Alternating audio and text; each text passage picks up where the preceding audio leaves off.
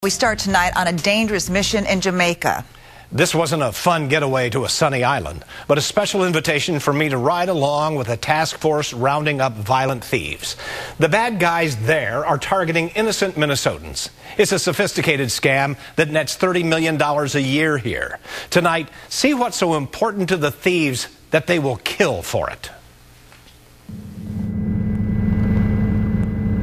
In the air over the lush island of Jamaica, federal agents are searching for some of the cleverest scam artists in the world. And some of the biggest targets of these scammers are Minnesotans. We estimate right now Minnesotans are losing about $30 million a year annually. John Willems is director of the Alcohol and Gambling Enforcement Division for the Minnesota Department of Public Safety. He and another special agent are here in Jamaica to begin the first of what they hope will be a continuous crackdown on these scammers. I don't know whether it's the Minnesota nice, I don't know whether it's the Midwestern uh, attitudes and the trusting nature or uh, uh, whatever it is, but Minnesota is heavily targeted. Well, I was contacted by phone by these people which had a foreign dialect. That we had won a large sum of money. In order to get the money from there to the United States, you have to pay um, a special tax.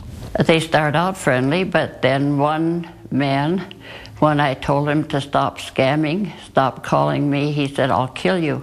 All of the victims we talked with were very afraid. They did not want us to use their names or tell you where they live because they have all been threatened by the scammers.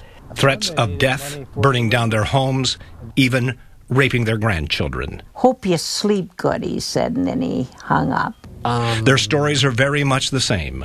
The same as at least 60,000 other Minnesotans. Well, I cried constantly, and I called everybody that I thought I could get some help from. And uh, they said they couldn't do anything because they were out of the country. But there is something that can be done. Minnesota is leading the charge against these crimes. And we just thought that, again, Minnesota citizens deserve better than you can do nothing. And so our whole approach to this point is uh, that's unacceptable. Don't tell me what I can't do, tell me what I can do. What they're doing is working with U.S. federal agents and Jamaican police. They're providing evidence from Minnesota victims so that they can make raids and arrests here at the heart of the problem. Where is this vehicle? Today, they're raiding four different houses, collecting computers and cell phones as evidence. Jamaican soldiers must be prepared. These scammers are armed and dangerous.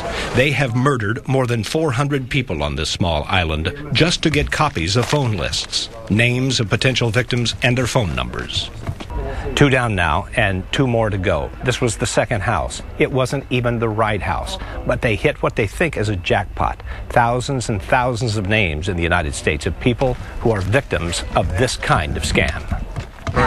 All right. All right, we just got a call from the uh, superintendent. A federal undercover agent is rushing us off to the next location where they have been told one of the ringleaders is hiding. Guys and their SWAT team are hitting the. Uh, are hitting the house as we speak right now. They may be involved in the murder of a police officer. Superintendent of Jamaican Constabulary, Fitz Bailey, says more than 100 million Jamaican dollars have already been seized.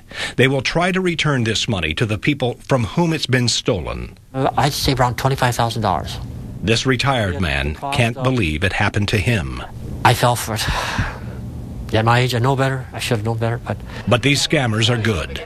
They build trust and become friends with their victims. Special Agent Jim Arlt is with the Minnesota Alcohol and Gambling Enforcement. Why isn't it as simple as just hanging up the phone? A lot of times people think they're talking with uh, our federal government officials. They might think that they're talking with the IRS. They may think they're talking with the Federal Trade Commission. So they'll make it look like it's coming from Washington, D.C. The victims don't get a lot of sympathy. People ask, how can people be so stupid to fall for something like this? Shame on the person who believes that, that these people are, are that uh, ignorant. These are, these are extremely vulnerable people. There are elderly. Uh, for someone to say that they couldn't, they themselves, uh, become uh, a victim of fraud schemes uh, is sheer ignorance. Immigration and Customs Enforcement officers are leading the federal fight. Tomorrow night, hear from an informant who worked inside one of those operations in Jamaica. He's got incredible stories of how he scammed people. And if you get a call, don't believe the threats. And a report is right away. It's only way that they're ever going to get these guys. You can file your report online or get a phone number of the State Department of Public Safety at wcco.com slash links.